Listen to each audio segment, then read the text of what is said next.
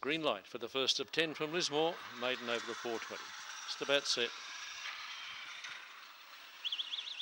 Spring Vale, Smooth Sayonara, Aurora Satin begun well. So too did uh, Princess Satin, La Chase Rapide and Covered Sees them all. Down the back, Aurora Satin is really rolling in front. In second place, Princess Susan, followed by Smooth Sayonara, who lost ground but motors forward. Well back was Covered Spring Vale and knocked out of it there was Princess Susan on the circle over. And Aurora Satin is really rolling in front. Smooth Sayonara is giving it a huge lead, but Aurora Satin one from, uh, from uh, Smooth Sayonara, followed then by Spring Vale Covered. Well back then would have been La Chase Rapide and Princess Susan. First out, first home, Aurora Satin. Trained by Annette Castles, a white and black dog, Cosmic Rumble, Starline Stella. Will return 360 and 210s, run 24.56. Smooth Say Sayonara 130 and a no third for number one Spring Vale.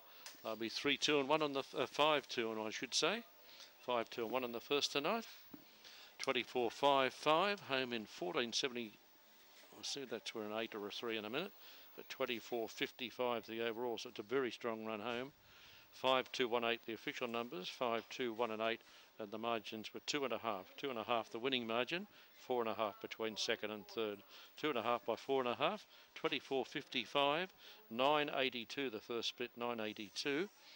So that'll make uh, 14.73 the run home, and that event overall time 24.55, 5218, race one from Lismore.